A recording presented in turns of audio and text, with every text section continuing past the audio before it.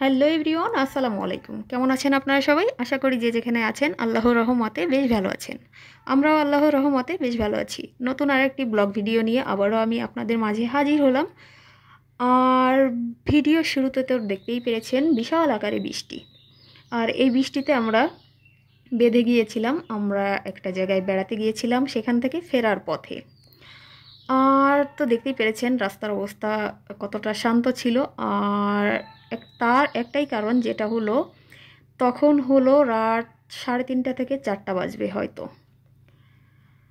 আর এই তো, শুরুতেই আপনারা একটা কাঁঠাল দেখতে পেরেছেন, এটা হলো আমাকে একজন গিফট করেছে রান্না করে খাওয়ার জন্য কাঁচা কাঁঠাল। আর কাঁচা কাঁঠালটা পরে পেকে একেবারে ঘর মোমো হয়ে গিয়েছে, ঘ্রাণে।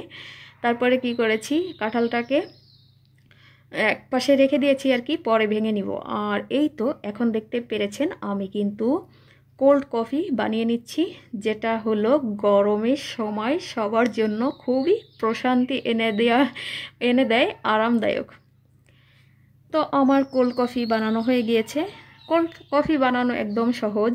দুধটাকে যদি একটু ঠান্ডা করে নিতে পারেন, আর বরফের চাক যদি থাকে, তাহলে এর মধ্যে কফি যদি আগের থেকে বিট করা থাকে, সেই কফির বিটের মানে ফোমটা অ্যাড করে নেবেন। আর তা না থাকলে অল্প একটু পানির মধ্যে কফি আগে থেকে মিশিয়ে একটা ক্রিম বানিয়ে নেবেন। তারপরে ওখান থেকে ক্রিমটা নিয়ে দুধের সাথে গুলিয়ে নেবেন। তারপরে খুব সুন্দরভাবে মিশে যাবে।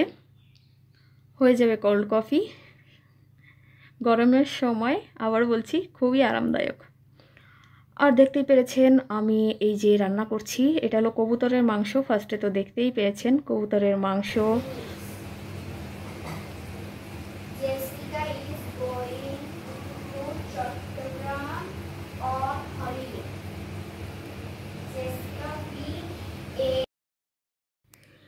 তো ওদিকে তো দেখতেই পেরেছেন আমার টুনটুনি পাখিটা পড়ছে।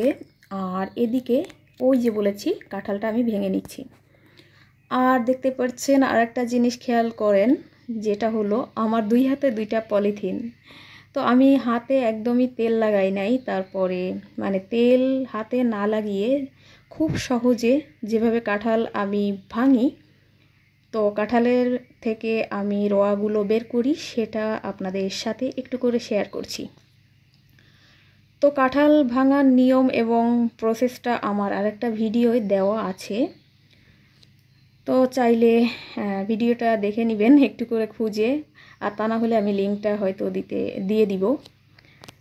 তো দুই হাতে দুইটা কাঠা মানে সরি দুই হাতে দুইটা পলিথিন দিয়ে তারপরে এইভাবে সুন্দর করে কাঁঠালগুলো বের করে মানে কাঁঠালের রোয়াগুলো বের করে নেবেন।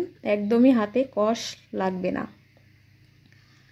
তো আমার মতো এভাবে হাতে কষ না লাগিয়ে, ওই সরি হ্যাঁ হাতে কষ না লাগিয়ে, তেল না লাগিয়ে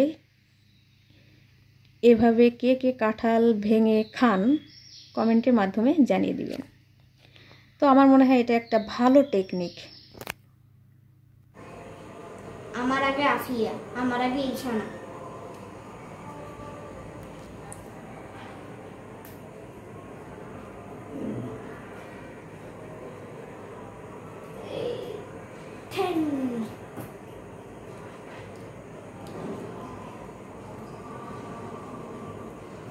astagfirullah astagfirullah astagfirullah